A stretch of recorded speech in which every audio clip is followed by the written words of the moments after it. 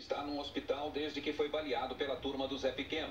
Sim, o- os meus amigos, que, é, digamos, seja conhecido meu, entendeu? Quem achar que é conhecido meu, que estar matando. A polícia não vai lá? Não, a polícia vai, mas sei lá, mas a polícia em cima de mim, ela dá sempre. Portanto, eu entrei por. Fui preso três vezes, enquanto o cara matava de montão, entendeu? Ainda mata e a polícia nada de botar a mão em cima dele. Mané Galinha diz que a briga vai continuar. O delegado José Guedes acha que não. Ele promete prender as duas quadrilhas da cidade de Deus.